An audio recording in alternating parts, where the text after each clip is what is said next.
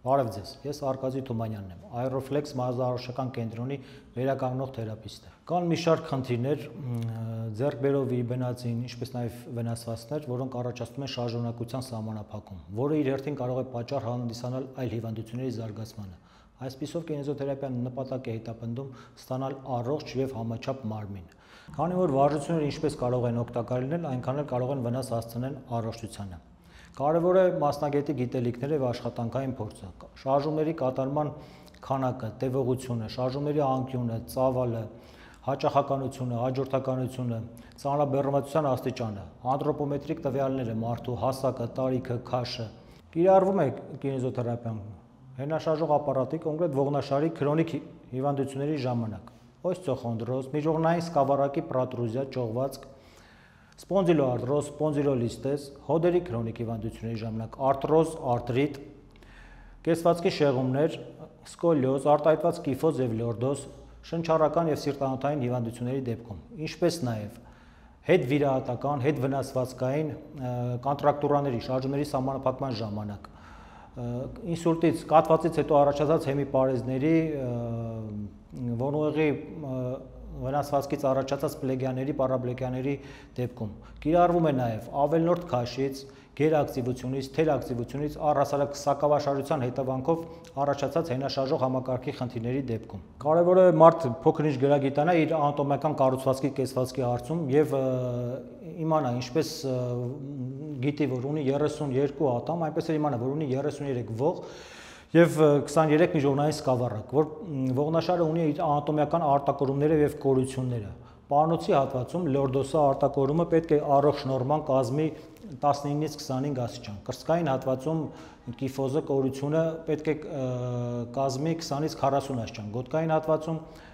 35-ից 53 աստիճան։ Ինչու է այս անկյունները կարևոր, որ մարդու մարմնի քաշը համաչափ բաշխվի ողնաշարի վրա։ Իսկ միջոնային սկավառակների դերը դրանք ամորտիզացիայի դեր են կատարում, որպեսզի քաշը եւ շարժումները լինեն սահուն եւ անցնցում։ Երբ տեղի ունենում կեցվածքի շեղում, պանոցի լորդոսի հարթեցում կամ հիպերլորդոս կամ կեց կորության պարանոցի կիֆոզի հարթեցում կամ հիպերկիֆոզ կամ գոտկային հատվածում տեղի ունենում նույն դեֆորմացիաները տեղի ունենում մարմնի քաշի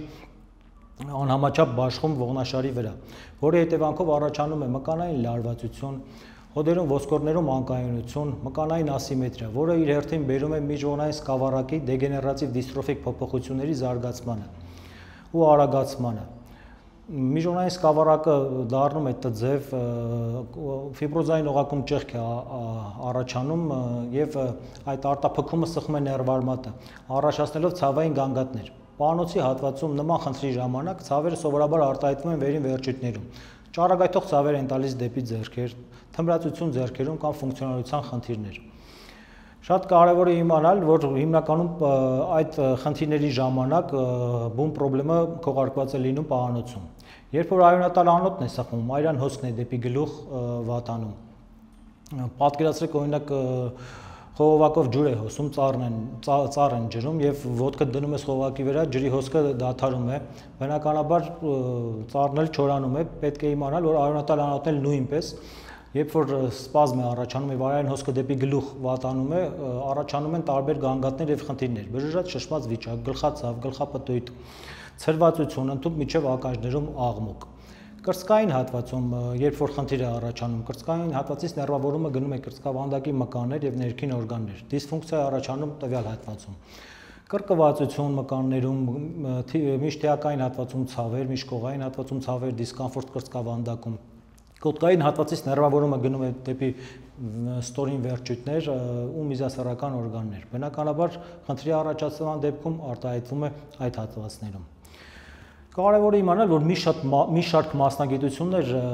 իրենց ստատիկ հարկադրաբար դիրքերով, երբ մարդ տևական ժամանակ շահագործում է մարմինը, առավել եւ չի փոխհատուցում ճիշտ շարժումներով, վարժություններով, չի բեռնաթափում ժամանակին ողնաշարը, հավանականությունը մերձանում է ռիսկի գործոնը խնդրի առաջացման։ Կան մասնագիտություններ, օրինակ, որ անդրադառնում են անմիջապես ողնաշարի կրծքային եւ ուսագոտու հատվածի վրա, ծանրաբեռնում այդ հատվածում, օրինակ վիրաբույժները,